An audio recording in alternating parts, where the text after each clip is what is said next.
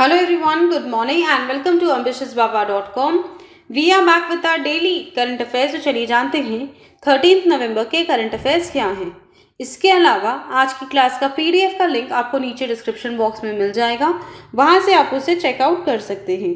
चलिए बढ़ते हैं आज के क्वेश्चंस की ओर।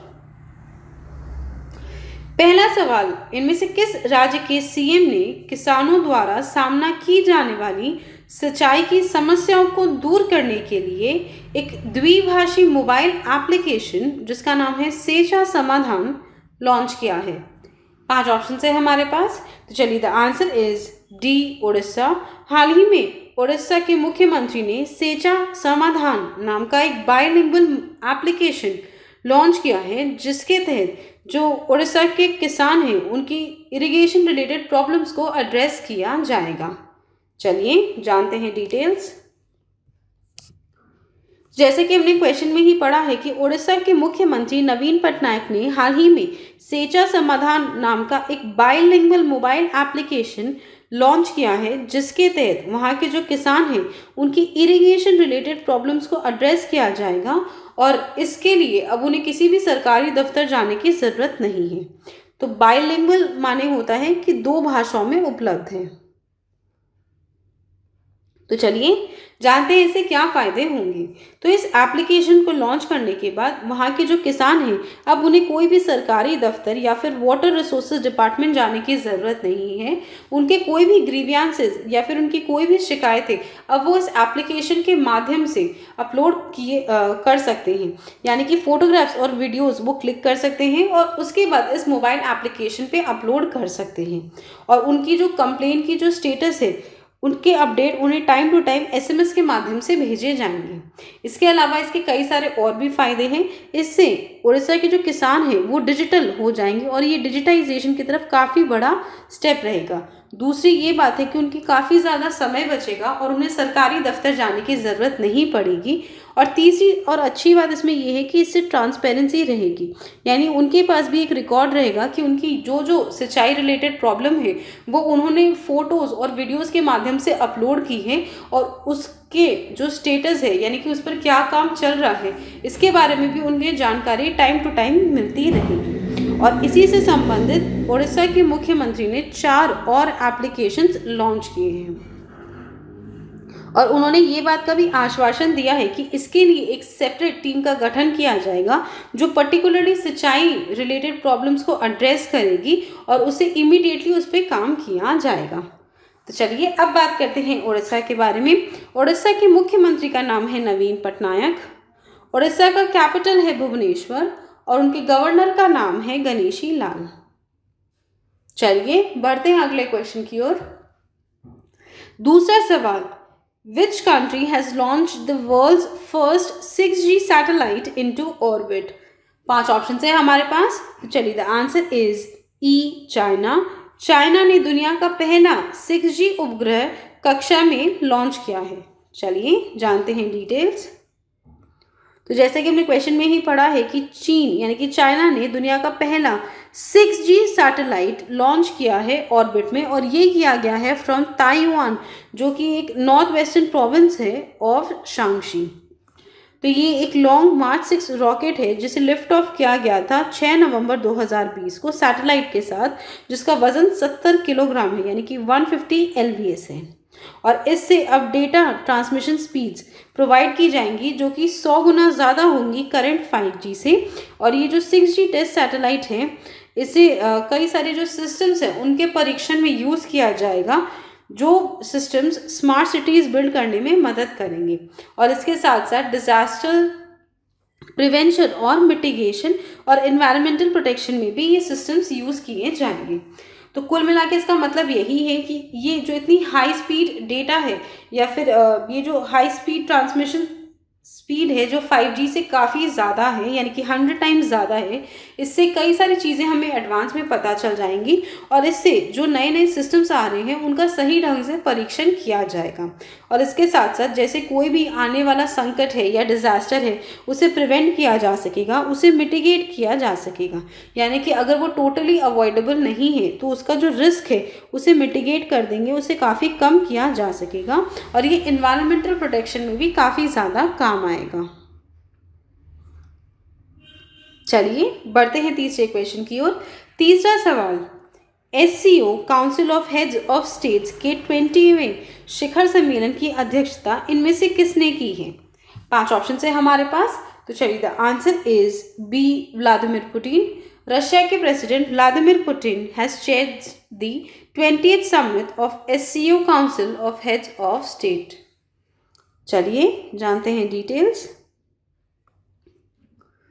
तो जैसा कि हमने क्वेश्चन में ही पढ़ा है कि जो ट्वेंटी समिट है of the S council of heads of state वो हेल्ड की गई थी 10 नवंबर 2020 को वीडियो कॉन्फ्रेंसिंग के माध्यम से। और इस मीटिंग की अध्यक्षता रही है to the president of the Russian federation mister Vladimir Putin के पास। और इसमें भारत के प्रधानमंत्री श्री नरेंद्र मोदी ने भी हिस्सा लिया है। तो ये पहली एस समिट है, जो कि वर्चुअल फॉर्मेट में की गई है, और ये तीसरी मीटिंग है, जिसमें भारत ने हिस्सा लिया है after it became a full time member in 2017 यानी कि वर्ष 2017 में जब एस के फुल टाइम मेंबर बन गए थे भारत, उसके बाद ये तीसरी मीटिंग है, जिसमें भारत ने हिस्सा लिया है। और अपने एड्रेस में, यानी कि जब हमारे प्रधानमंत्री श्री नरेंद्र मोदी एड्रेस कर रहे थे एससीओ लीडर्स को, तब उन्होंने रशिया के प्रेसिडेंट मिस्टर व्लादिमीर पुतिन को कॉन्ग्रेचुलेट किया है कि उन्होंने इतनी कोरोना वायरस संबंधित प्रॉब्लम्स और चैलेंजेस के बावजूद ऐसी मीटिंग ऑर्गेनाइज की है। चलिए पढ़ते हैं चौथे क्वेश्चन की ओर। चौथा सवाल। Rating agencies Moody's investors service has projected India's gross domestic product focus for calendar year 2020 to how much percent पाँच ऑप्शन है हमारे पास। तो चलिए the answer is C at minus eight point nine percent rating agencies Moody's investor service ने भारत की GDP को आंका है। चलिए, जानते हैं डिटेल्स तो जैसे कि हमने क्वेश्चन में ही पढ़ा है कि जो रेटिंग एजेंसीज हैं मूडीज इन्वेस्टर सर्विस ने, उन्होंने अपनी जो रेटिंग्स हैं भारत की जीडीपी को लेके वो रिवाइज की हैं।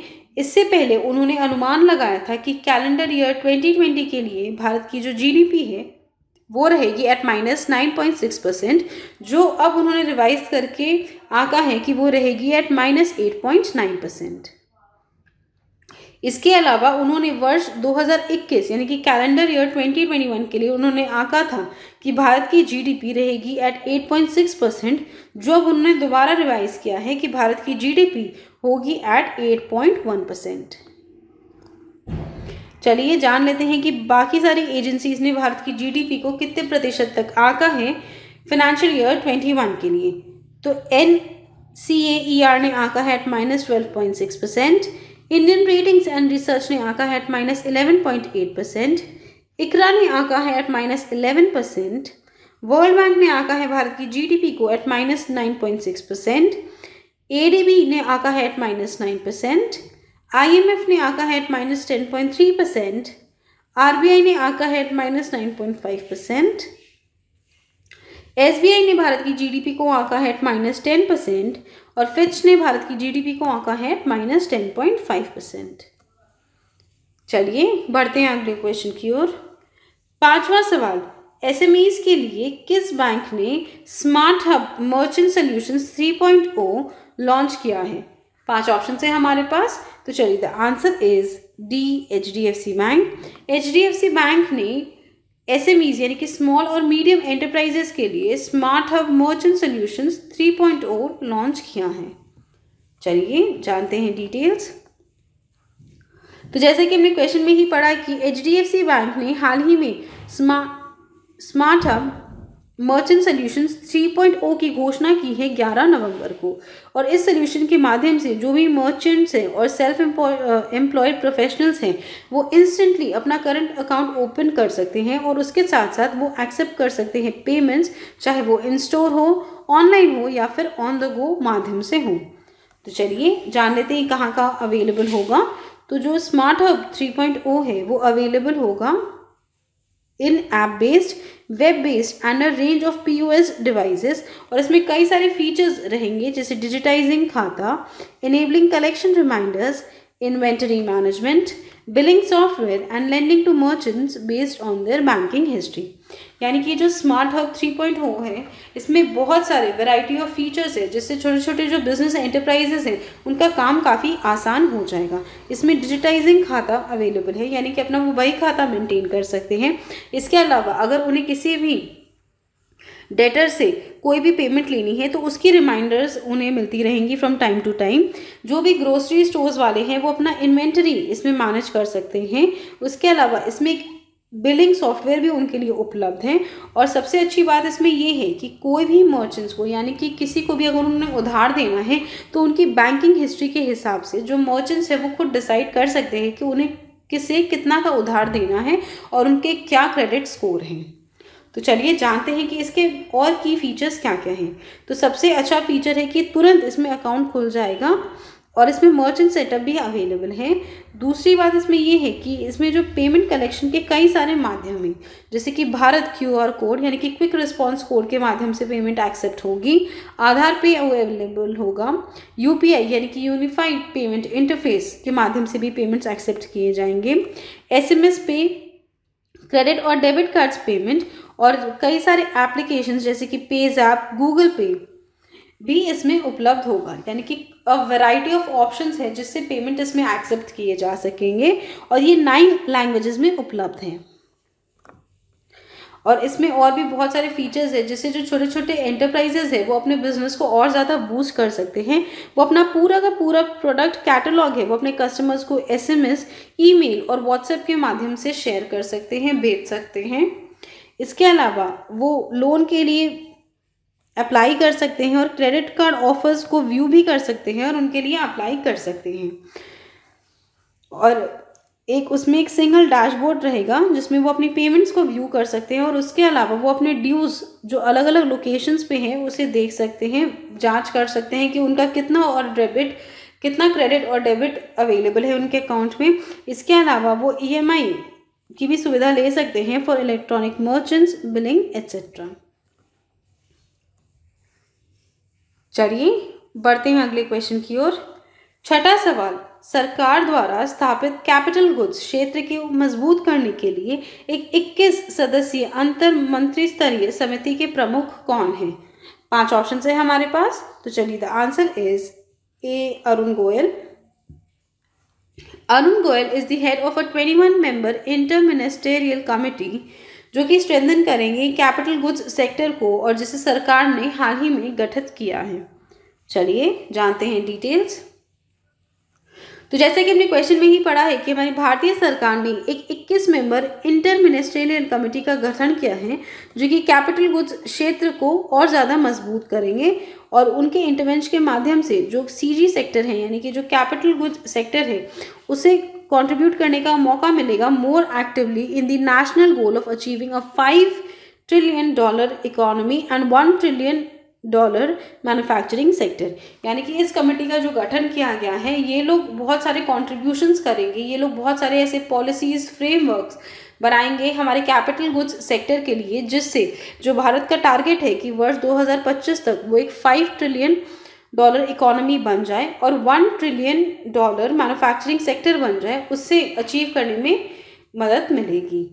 तो ये जो 21 मेंबर कमेटी है, इसके अध्यक्ष रहेंगे अरुण गोयल, जो कि हैं सचिव of the department of heavy industries और इसके अलावा काफ़ी सारे रिप्रेजेंटेशन रहेंगे अदर कंसर्न मिनिस्टर्स से, यानी कि इस मीट इस कमेटी में बहुत सारे लोग शामिल होंगे अलग अलग क्षेत्रों के मिनिस्टर्स भी रहेंगे और इसके अध्यक्ष रहेंगे अरुण गोयल।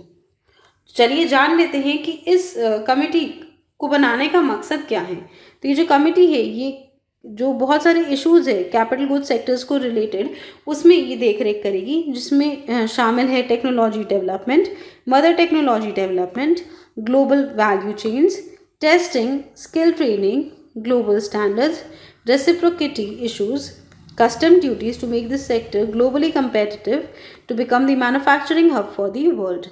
तो जैसा कि हमने पढ़ा है यहाँ पे कि कई सारे चीज़ें हैं जिसमें ये देख रेख करेंगी, जैसे कि हमारे कैपिटल गुड्स सेक्टर को और ज़्यादा बूस्ट मिले, जिसमें कि हमारी टेक्नोलॉजिकल डेवलपमेंटल क्या हो रही है, इसके अलावा हमारी जो मदर टेक्नोलॉजी है, उसकी क्या डेवलपमेंट है ग्लोबल वैल्यू चेंज क्या है, क्या कस्टम ड्यूटीज़ हम लगा रहे हैं इस क्षेत्र में और कैसे हम हमारी जो इंडस्ट्री है, उसे और ज़्यादा ग्लोबली कंपेटिटिव बनाएँ, इसमें क्या पॉलिसीज़ चेंज कर सकते हैं हम? क्या रेट्स वगैरह चेंज कर सकते हैं जिससे ये दुनिया का मैन्युफैक्चरिंग हब बन जाए? इसके अलावा वो इस बात पे भी ज़ोर देंगे कि कैसे इस इंडस्ट्री के लिए स्किल ट्रेनिंग की ज़रूरत है, किस टाइप के स्किल की ज़रूरत है और कैसे उन्हें ट्रेनिंग दी जाएगी इफ़ सही ढंग से टेस्टिंग्स हो रही हैं या नहीं, इन सब चीज़ों पे ध्यान रखा जाएगा। तो चलिए एक बार रिविजन कर लेते हैं कि कौन कौन सी लेटेस्ट कमेटी का गठन हुआ है और उनके अध्यक्ष कौन कौन हैं। तो analysis of Q R code के अध्यक्ष है प्रोफेसर दीपक बी फाटक सेबी रिजिक्स एडवाइजरी की अध्यक्ष Usha Thorat. To examine the possibility of offering surety bonds for contractors के अध्यक्ष जी श्रीनिवासन। लोन रिस्ट्रक्चरिंग के लिए पैरामीटर्स बिठाने की जो कमेटी का गठन हुआ था, उसके अध्यक्ष K V Kamath. Business responsibility reporting के लिए जो कमेटी बनाई गई थी, उसके अध्यक्ष राजेश वर्मा। एक साल का एक्सटेंशन दिया गया था टू कंपनी लॉ कमेटी उसके अध्यक्ष राजेश वर्मा। स्टबल बर्निंग को रोकने के लिए पंजाब, हरियाणा और यूपी में जो कि एक major cause of air pollution है in the Delhi NCR region उसके लिए एक कमेटी का गठन हुआ था, जिनके अध्यक्ष है पूर्व जज एम बी लोकर चलिए बढ़ते हैं अगले क्वेश्चन की ओर। सातवां सवाल। उस पांचवी स्कॉर्पियन पनडुब्बी का नाम बताइए, जो भारतीय नौसेना द्वारा दक्षिण मुंबई के मंडगांव डॉक में लॉन्च की गई है। पाँच ऑप्शन है हमारे पास तो चलिए the answer is E Vagir Vagir is the fifth Scorpene submarine which has been launched by the Indian Navy at Mazagon dock of south Mumbai चलिए जानते हैं डिटेल्स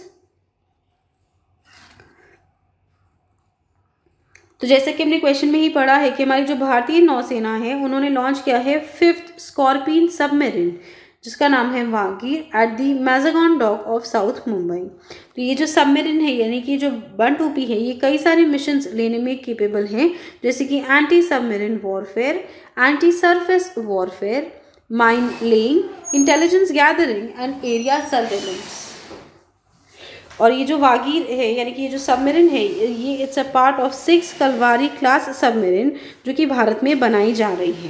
तो ये जो सबमरीन्स है, इसे डिज़ाइन किया गया था by the French Navy and an energy company जिसका नाम है डी सी एन एस तो जो प्रोजेक्ट सेवेंटी फाइव है ऑफ़ द इंडियन नेवी उसके तहत छः सबमरीन्स बनाए जाएँगे। तो जैसे कि आप समझ सकते हैं कि जो ये सबमरीन्स है ये यूज़ होती है वॉर में तो ये जो नई सबमरीन बनाई गई है, यानी कि जो लॉन्च की गई है, ये काफ़ी ज़्यादा केपेबल है कई सारे मिशन अंडरटेक करने के लिए, जिसमें से एंटी सबमरीन वॉरफेयर शामिल है एंटी सरफेस वॉरफेयर शामिल है माइन लेइंग भी कर सकती है इंटेलिजेंस गैदरिंग और एरिया सर्वेलेंस भी काफ़ी बेहतरी से कर सकती है। इसके अलावा इसकी जो एक्यूरेसी है वो काफ़ी ज़्यादा अच्छी है और ये वेपन्स वगैरह भी काफ़ी अच्छी से शूट कर सकती है अपने एमीज पर। तो टोटल में छः कलवारी क्लास सबमरीन्स बनाए जाएँगे भारत द्वारा और ये उसका पांचवा हिस्सा है, यानी कि Vagir is the fifth Scorpene submarine और ऑलरेडी चार कलवारी क्लास अटैक सबमरीन्स बनाए गए हैं, जिनका नाम है INS Karanj INS Vela INS Vagir and INS Vagsheer. तो सबसे पहले हमारे सबसे पहला जो वागीर सम्मेलन आया था, वो आया था फ्रॉम रशिया और उसे कमीशन किया गया था इन द ईयर 1973 लेकिन उसके बाद उसे डी कमीशन कर दिया गया इन द ईयर 2007 और वागीर, ये जो नाम है, ये सैंडफिश के नाम पर पड़ा है, जो कि एक डीप सी प्रेडेटर है इंडियन ओशन में। तो हमने आपको बता ही दिया है कि जो पहला वागीर आया था यानी कि सबमरीन आया था, वो कमीशन किया गया था इन द ईयर 1973 और उसे, और वो रशिया से आया था। और ये जो छः स्कॉर्पियन सबमरीन्स बनाए गए हैं, ये इंडिया में बनाए जाएँगे फ्रेंच नेवी की मदद से। तो इससे भारत का जो इंडियन नेवी फोर्स है, वो और ज़्यादा मज़बूत होगा और वो ग्लोबल कंपेटिटिवनेस में काफ़ी ज़्यादा आगे आएगा। यानी कि हमारा जो ग्लोबल फोर्स रहेगा, यानी कि दुनिया पे काफ़ी ज़्यादा हम अच्छे पोजीशन में आएँगे in terms of the navy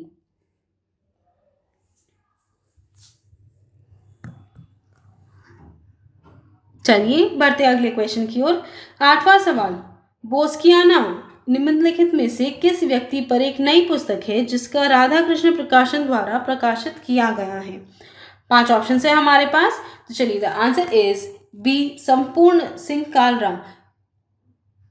के ऊपर है ये नई किताब जिसका नाम है बोस्कियाना और जिसे पब्लिश किया गया है बाई राधा कृष्ण प्रकाशन। चलिए, जानते हैं डिटेल्स तो ऑस्कर अवार्ड विनर लिरिसिस्ट जिनका नाम है संपूर्ण सिंह कालरा जिन्हें प्रोफेशनली गुलजार के नाम से भी हम जानते हैं, उनके ऊपर लिखी गई है ये किताब, जिसका नाम है बोस्कियाना। तो इसमें कई सारे विजिबल और हिडन ट्रुथ्स हैं उनके राइटिंग्स के बारे में। इसके अलावा उनके घर का माहौल कैसा है, उनकी लिविंग स्टाइल्स क्या है, उन्हें क्या पसंद है, उन्हें क्या नापसंद है, ये सब इन किताब इन किताब के, इन किताब में है। तो इसके अलावा ये जो किताब है, ये उनकी ओपिनियन और वो दुनिया को कैसे देखना चाहते हैं, वो भी देखा जा सकता है। यानी कि रीडर्स को पता चल सकता है कि बेसिकली गुलजार या फिर संपूर्ण सिंह कालरा की नॉर्मल और आम ज़िंदगी कैसी है। इसके बारे में उन कई सारी चीज़ें लिखी हैं, उन्हें क्या पसंद है, क्या नापसंद है, और वो क्या एक उनका विजन है कि वो दुनिया को कैसे देखना चाहते हैं, वो भी इस किताब में है। और इसके साथ साथ एक डिटेल्ड कॉन्वर्सेशन है जो हमें गुलजार की जो पर्सनालिटी है, उससे रूबरू कराता है, वो भी इस किताब में है। तो राजकमल प्रकाशन समूह ने एक लिमिटेड गिफ्ट एडिशन लॉन्च किया है, जिसमें गुलजार साहब का पेन है, एक अट्रैक्टिव नोट पैड है, एक बुक मार्क है और एक ब्यूटीफुल कैनवस बैग है, जिसमें उनके लाइफ और टाइम्स को सेलिब्रेट किया गया है। चलिए, बढ़ते हैं नौवे क्वेश्चन की ओर। नौवा सवाल।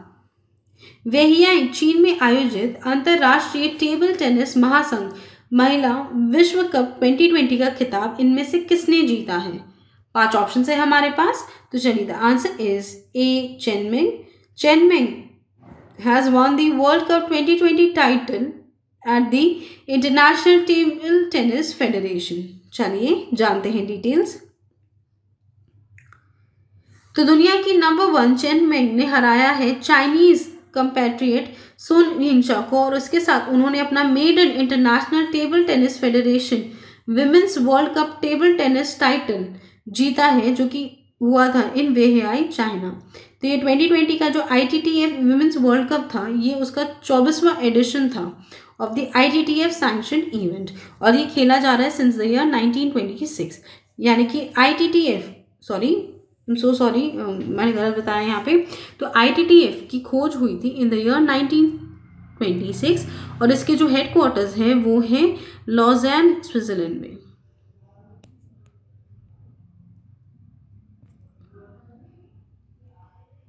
चलिए, बढ़ते हैं दसवें क्वेश्चन की ओर। दसवां सवाल, लोक सेवा प्रसारण दिवस हर साल किस दिन मनाया जाता है? पाँच ऑप्शन है हमारे पास। तो चलिए the answer is C twelfth November twelfth नवंबर को हर साल public service broadcasting day celebrate किया जाता है।